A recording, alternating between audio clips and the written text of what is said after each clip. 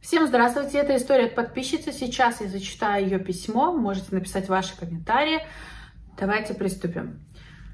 А, дорогая Галина, недавно подписалась на вас в YouTube.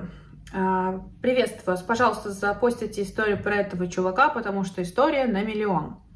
А, нашла его в Тиндере и решила прокатиться к нему в Стамбул. Чувак с неплохим английским, но в первый вечер моего приезда оказалось, что он не дурак прибухнуть по 8 пива каждый день. Он курт, не турок. Потом оказалось, что он все еще женат официально. Было много расхождений в фактах про бывшую жену, типа она украинка, какая-то Оксана из Киева с английским паспортом, и типа в разводе он уже 10 лет, но так и не добрался до Украины, и не поставил штамп, что он не свободен. В общем, а, но видится мне, что там, возможно, деревенская жена с пятью детьми где-то в деревне, которая сидит его и ждет. Домой к себе он не пустил, а, потому что сказал, что там слишком много братьев, и мне будет некомфортно. А, снял хату приятную на Airbnb, и мы зависали там неделю. Целую неделю кося под полную дуру, что я тоже его люблю и хочу жениться спокойно, я потом улетела домой.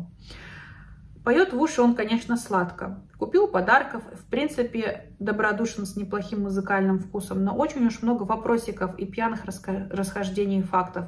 Как это курдский мужик в 39 лет все еще не женат, или типа разведен, но не официально. Как это он за 10 лет, раз так сильно поет в уши, ни на ком все-таки не женился. Весь в татуировках, пьет, курит, как не в себя. Прятал меня дома всю неделю, пока э, что-то мутил по работе. По моему прилету домой начал устраивать мне истерики по видео, как он теперь вообще будет без меня жить и существовать.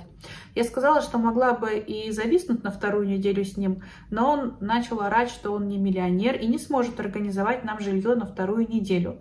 Я улыбнулась и сказала «Окей». После недели наблюдений в принципе, прекрасного секса могу сказать, что парень таки очень мутный и похож на голддиггера. Причем, возможно, с пару э, детьми или женами в, в запасе немножко говорит по-русски, но живший в Анталии не мудрено научиться паре фраз.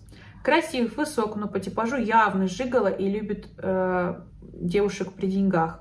Ах да, зовут его, это Думан сказал, что ему 39 лет, хотя в интернете откопала, что он числится с 1 января 85 года рождения или 14 марта 85. Документы мне так и не, сказ... не показывал. Вопросики. Ах да, спасибо, что живой, что не убил. Разок приготовил завтрак, аж взял меня в э, кальянную. Когда он начал ныть про разлуку, говорю, чувак, ты себе это как представляешь? Турция мусульманская страна с традиционным подходом. Я без прав буду жить с тобой на съемной квартире в Анталии или в Стамбуле? Белая славянка на туристической визе? Ты не разведенный, то бишь женатый мусульманин, который просто так будет жить с иностранкой. Он ничего особо мне не отвечал на мои вопросы, а просто говорил, что я драма Квин, и я должна ему верить. Ну, как типичные жигало Альфонсы так всегда и говорят. Потом он стал ныть, что я доеду до Украины, поставлю штамп о разводе, обещаю. Прям послезавтра поеду, прям таки в Киев. И пофигу, конечно, что на данный момент там происходит война, ведь ради любви ничего не жалко. Ах да, пять минут назад он меня заблокировал в WhatsApp после того, как я написала ему, что чувак, извини, у нас вряд ли что-то получится, поэтому стопудовый развод. Это персонаж для вас. Главное косить под дуру, поддакивать улыбаться. Хороший интим обеспечен, потому что физически, да, но этого типа волшебные. Ах, да. И последнее, я таки запалила фотку ребенка в его кошельке и спросила, что это за ребенок. Он сказал мне, что его племянник, который умер давно и стал ангелом. Вранье 80 уровня, какая-то фигня прям. Я одна долго была, жила в Европе и Индии, поэтому достаточно легко путешествую в одиночестве. Ну и по наивности душевной хотела верить в эти песни, но, таких разобла... но таки разоблачить его удалось. Ну и слава богу, что нас не снесло всех в Стамбуле от землетрясения, и не было никакого домашнего насилия. Я дома и ржу над этой историей, потому что не понимаю, кто тут больше э, юзер, он или я. По причине войны все мужики из Москвы сбежали, и нужно было как-то э, закрывать физические потребности. Я, конечно, стыжусь, но с другой стороны так получилось. И еще дописка. Немного добавить к истории, что я уже давно в официальном разводе, мне 37 лет, у меня есть 18-летний сын. Поэтому. Поэтому серьезные отношения с восточными мужчинами мне изначально не интересны, потому что уж очень много было и личных историй, дурных отзывов вокруг. Песни про любовь «Хочу детей» особо на меня не действуют. А история про Курда – это чистый воды эксперимент, дабы развеяться и подтвердить мифы. Я никогда до этого не летала знакомиться знакомясь в Тиндере. Я просто очень много путешествую, жила за границей, знаю языки, поэтому решилась на приключения. Курт жигало и алкоголик. Если бы был умнее и при... правдивее, мог бы со мной дружить без всяких дурацких заморочек. Но я не совсем поняла его мотивы и нытье. Чего же конкретно он все-таки ищет? Потому что, в принципе, я не потратила ни копейки ни на что. А он заплатил за жилье и чуть-чуть еды. И чувствовать э, чувствовалось денежное напряжение с его стороны. По итогам, Жигала оказалась я. Как вы думаете? Вопрос. Объявится ли он опять после блока? Спасибо вам огромное за ответ и обратную связь. Очень приятно получить ее. Вся история свежа, потому что позавчера я только прилетела обратно в Москву. Хочу смотреть и рассказать, а зачем, какая разница, объявится он или нет э, после блока, а, и так далее. Он же вам не важен, вы же хотели развлечь, ну, развлеклись, получили опыт. Знаете, в чем прикол? Что если мы где-то развлекаемся, что-то такое делаем, когда вот мы уезжаем, назовем так, да, есть поговорка, а курортный роман остается на курорте. Если вы уехали, то это там и осталось. Вы ни в каких WhatsApp не переписываетесь, и слюни сопли не распускаете. Вот он заблокировал вас и все прочее, ну и все, нехай, зачем вы про него вообще спрашиваете у меня, а и объявится он или нет. Значит, вам хочется, и у вас есть какое-то желание, что-то он там задел, в общем, в вашем сердечке, почему-то вам эта информация нужна. Про все письмо в комплексе, как бы как такового вопроса мне не было, да, задано. А если вот э, объявится или нет, да, вполне возможно, объявится.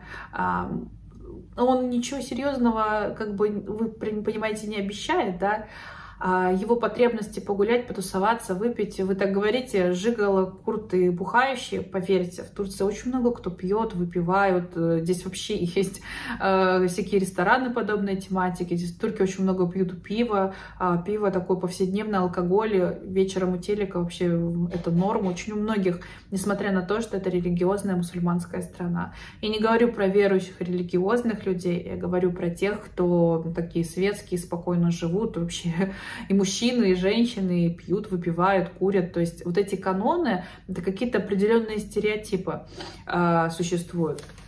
Мне очень непонятно, почему вы поехали проверять стереотипы, как вы сказали, вокруг стереотипов много неприятных.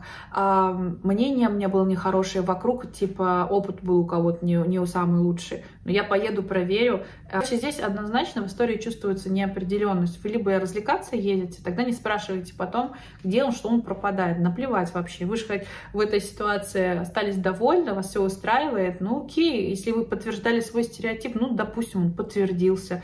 Но я скажу, что совершенно не так. Вы именно, а, вы вообще что хотели в приложении найти чувака какого-то в Тиндере, поехать тусоваться, ясный пень, это вся история не про серьезное что-то. А вот какая разница, врет он или не врет про свою там семью, развод и так далее. Если вы видите такую муть огромную, что он так мутит и так обманывает и ловит его на лжи, ну, блин, барабан ему на шею, флаг в руки, пусть, как бы в чем проблема вообще? То есть это изначально не серьезная база как бы это не подтверждение каких-то мифов, это взят среднестатистический несерьезный чувак из приложения в телефоне, в котором ищет легких каких-то связей на время. То, что он врет, а говорил вам о любви и вся вот это вот по ушам ездил, он просто так обхаживает девушек. Как вы сказали, возможно, он жигало, да, он, возможно, Альфонс. И он говорит только то, заезженные фразы, которые все девушки хотят слышать. Вот и все. Он использует это, а, инструменты его в такой, в работе, в его поведении. Поэтому придавать серьезности его словам, и прежде чем говорить, мне 38 лет, вы же опытный человек, у вас взрослый ребенок, вы понимаете, что изначально, ища в Тиндере, который по ушам ездит, и видите в нем ложь в его словах, ну, как бы, о чем тут вообще говорить, да? Вам же не 20 лет, правильно, и не 25, когда девушки на многое ведутся, там, условно, в рот заглядывают, верят все, что он говорит. Поэтому выпивающие в татуировках, гуляющие, тусующиеся, они серьезные, они есть в любой э, народности, национальности, в любой стране, и курды нигде не исключение вообще. Не думайте, что все курды живут чисто кланом своей семьей, у них всех по 10 детей, они все при мамках, при папках и так далее.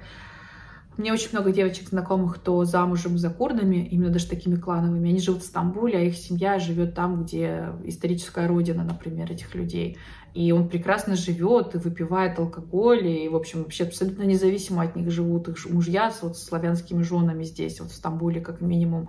Ну, Тут какая-то их э, культурная особенность, народность вылазит только на всякие байрамы, праздники, и когда гости приезжают, родственники какие-то, они э, всем кланам вместе не живут. есть такие, а есть вот такие. То есть это от семьи зависит, от их уровня тоже социального, от их уровня образования, э, кто они, что они и так далее, как себя позиционируют. И там удивляться, что и Курт выпивает, и в татуировках, и весь такой типа ащальфон. Да их навалом вообще везде, не всякие есть.